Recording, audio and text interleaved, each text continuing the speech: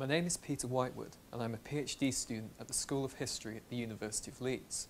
I'm going to talk today about Stalin's purge of the Red Army, which is an important part of the Great Terror, but one which has not seen a great deal of serious analysis. And this is surprising.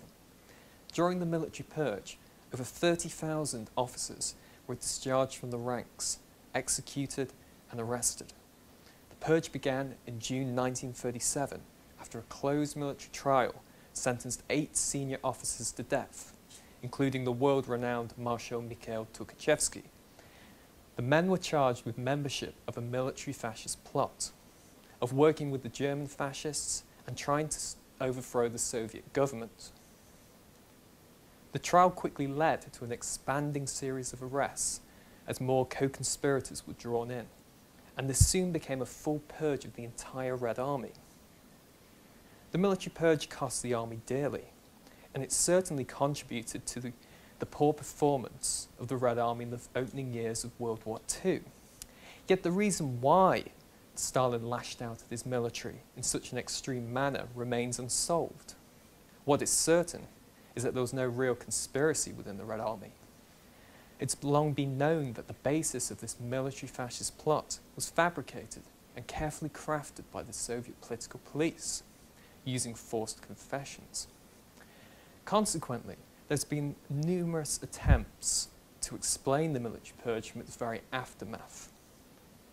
But even today, there is still no convincing explanation about why Stalin would attack his army on the eve of war. The most common argument sees Stalin subduing his army in 1937 as part of his domination through terror. Removing those officers he thought would become a block to its expanding power. But this explanation has numerous flaws. If the consolidation of power were the main objective of the military purge, Stalin picked a terrible time to do this. By 1937, it was clear that World War was on the horizon, and Soviet defense spending was rising rapidly in response. Why would Stalin build with one hand and destroy with the other? Why prepare for war, but at the same time weaken the army through a radical purge. Stalin risked weakening his army at the very moment he needed it to be strong, and this potentially put the entire Soviet Union at risk. So on the surface, this military purge appears to be an irrational act, and it does not sit comfortably with an explanation focusing on Stalin's calculated moves to increase his power. In addition, Common to many previous accounts of the military purge is a story about a fabricated dossier of evidence which Stalin supposedly used as a pretext to execute Tukhachevsky and the other officers he wanted out of the way. But from the opening of the Soviet archives in the early 1990s, this dossier has never been found. And the materials that are available today do not point to the existence of such a dossier either. In short, the dossier story has little credibility. And finally, we know much more today about the military purge itself thanks to newer materials from the Soviet archives. And there's been a lot of diverse work done, and we know a lot more about how the Red Army was affected by the rising political repression in the 1930s. But none of this newer work really explains the reason why Stalin would purge his army in 1937, and typically falls back to an explanation that it was all down to Stalin's desires for more power and control. So I'm now going to talk about my own research and how this explains the military purge and how there is a rationale behind an act which on the surface seems so irrational. In order to explain the military purge, we need to go back to the Red Army's very formation in early 1918 and understand that the Bolshevik Party and the political police were very concerned that the Red Army was the target of enemies and counter-revolutionaries.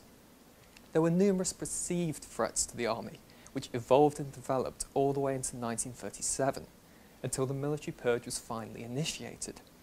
So the military purge is best seen as the culmination of a long pre-history of perceived threats which evolved and developed over 20 years. These perceived threats left Stalin with many nagging doubts and lingering suspicions about the loyalty of his army, which by 1937 he could no longer ignore. The reason I describe these threats as perceived is that they were exaggerated. Foreign spies and counter-revolutionaries were frequently discovered in the Red Army from 1918, but the political police also used forced confessions, so not all of the arrested were genuine. The political police actively looked for conspirators and beat confessions from the arrested. This had the effect of increasing the perceived scale of the threats to the army. It exaggerated these. But at the same time, Stalin was very receptive to believing these confessions. Stalin believed that a new war with the capitalist world was inevitable and that the final clash between communism and capitalism was certainly going to happen. In this respect, it made sense that the Red Army would be the target of foreign agents and counter-revolutionaries.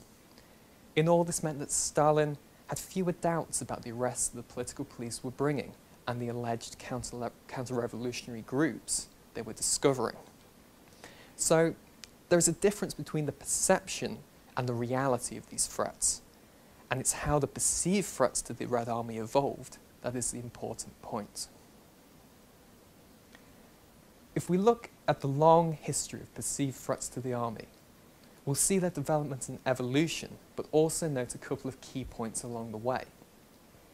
So, during the 1920s, there were three chief perceived threats to the army. Firstly, the whites, who were the reactionary forces who had fought the Bolsheviks during the Civil War and who were now in exile abroad.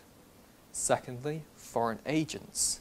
And thirdly, military specialists. Military specialists were ex-imperial officers from the Tsarist army that the Bolsheviks were forced to use in their own Red Army because of a skills shortage. But many were suspicious about their loyalty and that they may be used as agents by the exiled white forces. All three of these threats were seen as having the ability to infiltrate into the Red Army. This was a case of the enemy within. Also, during the 1920s, there were numerous rumours about the disloyalty of the Red Army High Command itself. At the time, senior officers such as Tukhachevsky uh, were the subject of intense speculation abroad about their disloyalty. Tukhachevsky was often depicted as a Russian Bonaparte who would challenge Stalin and lead a fight against the Bolshevik regime. Of course, these were only rumours, but the political police surely kept a note of all of these. Indeed, the rumours were so strong that the political police used them themselves, spreading disinformation about Tukhachevsky and creating fake counter-revolutionary organisations in order to entrap real white counter-revolutionaries. So, in the 1920s, was, this was a period of intense rumour about disloyalty in the Red Army High Command, of fears of possible infiltration by the whites in exile, by foreign agents and about betrayals by these military specialists. But again, these were perceived threats and they were exaggerated. There, was, there were certainly some genuine counter-revolutionaries and foreign agents in the army at this time, but certainly not enough to match the level of concern about army vulnerability. There was one final perceived threat to the army in the 1920s, and this was from the Trotskyist opposition.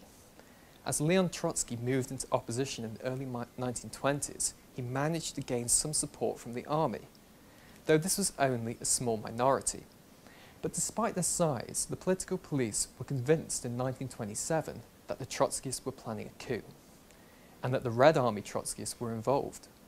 The political police took countermeasures against the alleged coup attempt, and Stalin praised them for this. But he was certainly less alarmist about the Trotskyist threat to the army than the political police. For example, the head of the political police, Vyacheslav Menzhinsky, wanted to crack down on the Red Army to solve these problems with reliability he saw as a cause of um, Trotsky's agitation. But Stalin argued that the political police were being far too pessimistic. The army was secure, and there would be no crackdown. So in 1927, Stalin leans towards restraint. He hesitates. The alleged coup attempt had been foiled, and there would be no need for a further crackdown in the army. And this would not be the last time that Stalin would act with restraint against the army. Another example of Stalin's hesitation can be seen in 1930, when a very large military specialist plot was exposed in the army by the political police, and this led to the arrest of over 3,000 military specialists. Importantly, this plot was not genuine. it was fabricated by the political police and expanded through forced confessions. Again, the important point to note is that this was a perceived threat rather than it being a real threat. And in this case, the plot grew out of police fears that the army was under threat from foreign agents and that some military specialists were planning an uprising. But again, these fears had very little basis in reality. And what is interesting about this plot is that some of the incriminations reached directly into the army itself, into the Red Army elite. And so they went far beyond the bulk of the arrests, which are these military specialist outsiders. For example, two of the arrested specialists incriminated Tukhachevsky as being a leader of a rightist conspiracy. Tukhachevsky was then investigated, and Stalin was closely involved with this investigation. But in the end, he was convinced of Tukhachevsky's innocence. Again, Stalin showed a level of restraint. Of course, he could have had Tukhachevsky arrested and drawn into this military specialist plot, but Stalin recognized Tukhachevsky's talent and experience. He needed people like him in the Red Army, and there was little to be gained from having him drawn into a plot on the basis of weak evidence. But Stalin would certainly not forget the very large military specialist conspiracy. He believed the basis of this alleged plot, and he would not forget Tukhachevsky's incrimination, especially as this was a man widely rumoured to be a Russian Bonaparte. And even though Stalin had shown restraint, he would be left with many lingering suspicions and nagging doubts about army reliability and the loyalty of his military elite. After the exposure of this military specialist plot in the early 1930s, there were no more mass arrests in the army until the summer of 1937, when the military purge began. However, during this time, the perceived threats to the army continued and some increased in scale in line with external and internal pressures. So as the international situation worsened in the early 1930s, with the Japanese invasion of Manchuria in 1931 and Hitler's rise to power in 1933, the political police recorded an increase in foreign espionage and noted that the army was now the target of counter-revolution more than it had been at any other time.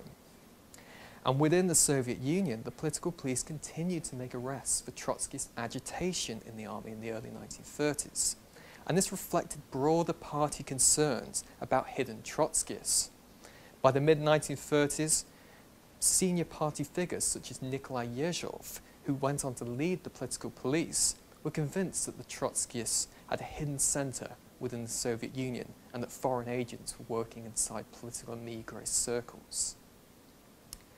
At the same time in the 1930s, more rumours began to filter in from abroad, reporting an alleged secret link between the Red Army High Command and the Nazis. These were rumours of a similar kind seen during the 1920s, which had presented the army elite as disloyal, but now a connection was made to Germany. For example, in the 1930s, Tukhachevsky was linked to Hermann Göring, and in 1935, the head of Soviet military intelligence reported a secret connection between the German officers and the Red Army. These rumours about a secret connection with Germany added to the growing mass of rumours about Tukhachevsky and his allies in the army elite.